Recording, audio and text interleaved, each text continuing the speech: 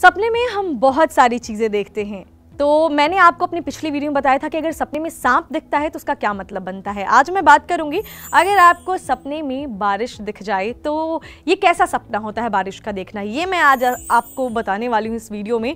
क्योंकि बहुत सारे लोग जो है सपने में बारिश को देखते हैं और फिर डर जाते हैं, फिर ये सोचते हैं कि ये खराब सपना है बुरा अच्छा सपना है या बुरा सपना है।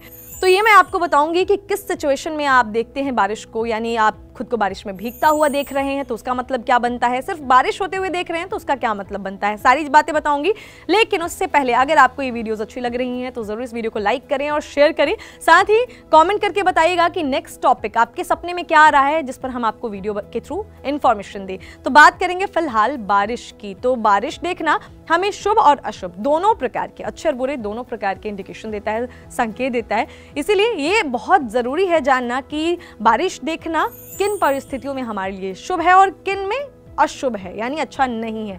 तो सबसे पहले आपको बता दूँ कि बारिश जो है, अगर आप नॉर्मली बारिश देख रहे हैं तो ये एक अच्छा सपना माना जाता है। आपकी लाइफ में कुछ अच्छा होने वाला है इसका मतलब।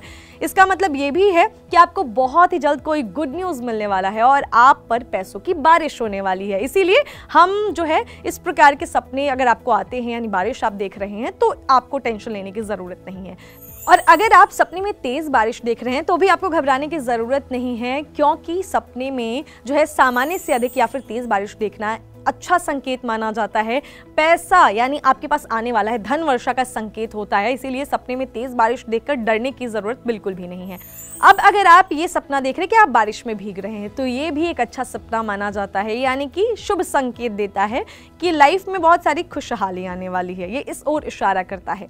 अब अगर आप बारिश में, सपने में बारिश में नाच रहे हैं तो क्या मतलब होता है?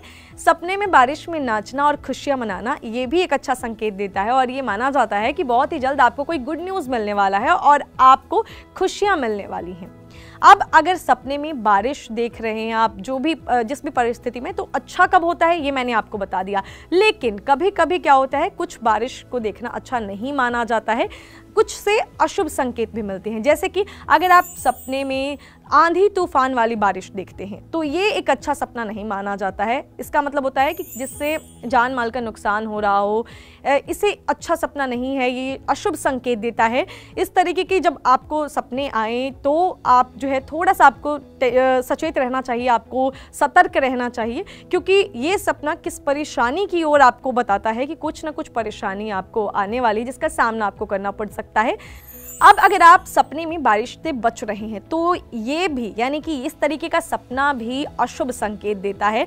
ये माना जाता है कि आपको कोई ना कोई परेशानी या डराने, धमकाने की कोशिश कर रहा है। इसीलिए ऐसे सपने आने पर आपको थोड़ा सा अलर्ट रहने की ज़रूरत होती है। तो जो जो क्वेश्चन आते थे, उससे रिलेटेड मैंने आपको इन्फॉर्मेशन दे दिया। उम्मीद करते हैं कि अब जब कभी आपको बारिश का सपना आए, कि आप सपने में जो है बारिश में भीग रहे हैं या फिर कुछ भी आपको ऐसा सपना आता है तो आप जान जाएँगे कि आपके लिए अच्छा टाइम आने वाला है या फिर बुरा टाइम आने वाला है। अगर मैंने कुछ मिस कर दिया है, आपको बारिश और सपने से रिलेटेड कुछ और चीज़ आते हैं तो वो कमेंट कर दीजिए। अगली वीडियो में मैं आपके वो, जो भी आपके डाउट्स हैं, वो क्लियर कर दूँगी। और साथ ही कॉमेंट करके आपको बताना है कि आपको सपने में क्या दिख रहा है, जिस पर हम आपको वीडियो बनाएँ।